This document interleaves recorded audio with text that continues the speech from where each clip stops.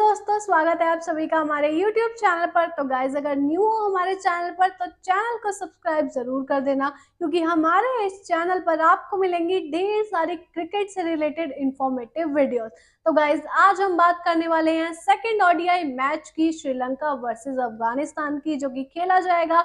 Fourth June 2023 Sunday को सुबह 10 बजे महिंदा राजपक्षा इंटरनेशनल स्टेडियम पर। तो चलिए विदाउट एनी डिले आगे बढ़ते हैं और आपको बता दूँ फ़र्स्ट ओडीआई मैच को अफ़गानिस्तान की टीम ने जीता छह विकेट से, क्योंकि श्रीलंका के बैट्समैन उतना ज़्यादा कमाल नहीं कर पाए थे। तो चलिए, अब यहाँ पर बात कर लेते हैं हमारी सेकेंड ओडीआई मैच की ड्रीम इलेवन टीम के बारे में।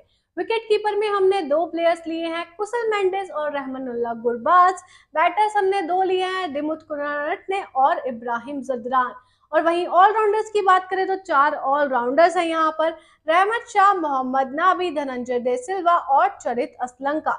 बॉलर्स की अगर बात करूँ तो कसुन रजीता है, फजल अक फारूकी और लाहिरू कुमारा है यहाँ पर।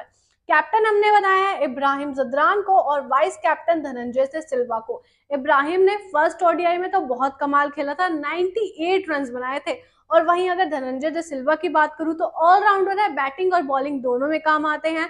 लास्ट मैच में भी 51 रन बनाए थे।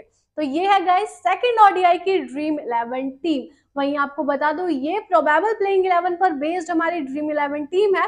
फाइनल प्लेइंग इलेवन जब आती है टॉस के बाद एक और ड्रीम टीम हम आपके साथ शेयर करते हैं, पर वो करते हैं टेलीग्राम पर। तो टेलीग्राम ज़रूर ज्वाइन कर लेना, आपको लिंक मिल जाएगा डिस्क्रिप्शन में।